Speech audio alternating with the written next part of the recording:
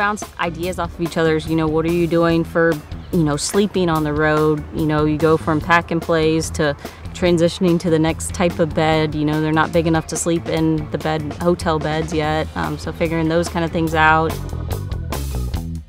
It's better than anything you could ever do on the golf course, really. Probably exceeds a hole in one. That day that they're born, I mean, you have so much love for them and just so fun to see them learn new things and never know what's going to come out of Chesnee's mouth right now. the diaper bag, all it has in it is pull ups and some snacks and her little guys she sleeps with. So um, I'm glad we're past the bottles and the, the bibs and you know, just all the other stuff that little ones need. I mean, that's so nice now. It's a lot easier to get out the door.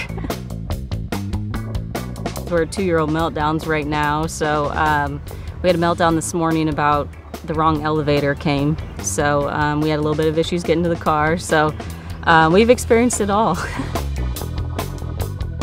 Chesnee loves going. She loves going to see her friends, and that's that's the biggest thing for me